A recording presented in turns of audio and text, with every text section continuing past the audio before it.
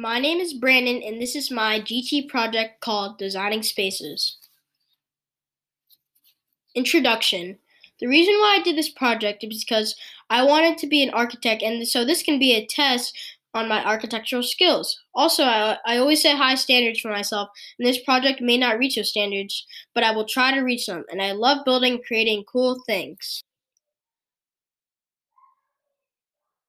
Idea for the project my idea was from my friend's dad, who is an architect, and he built his own house, so that really inspired me to do a good job and even do the project in the first place. I also wanted to look like my dream home, so that maybe I could, maybe one day I could do the same thing and build my own house. Materials. For my materials, I use the following white foam board, black foam board, popsicle sticks, glue gun, X-Acto knife, self healing cutting board, and a ruler. Research.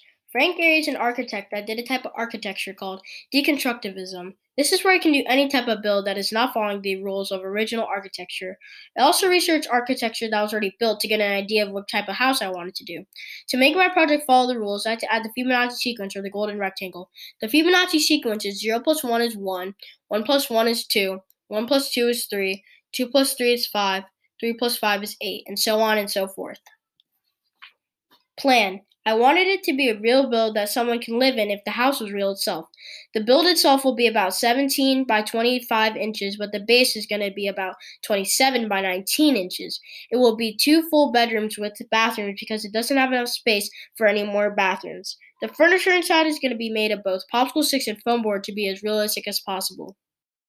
Product. The final product was really fun to make, and it ended up being just like my plan, except that I used black foam board for more than just the roof, and also for some other details. Also, instead of leaving the back open, I made a folding door that can be used to make the back open. It also was a huge door. Overall, the product turned out great and a whole lot better than my expectations. Conclusion I was really happy about how the build turned out. It surprised me that I could achieve and even exceed my highest standards for this project. Even though there were some things I can change and make a, a better, overall, the build was so good. Bibliography. These are all my sources I used to make my GT project.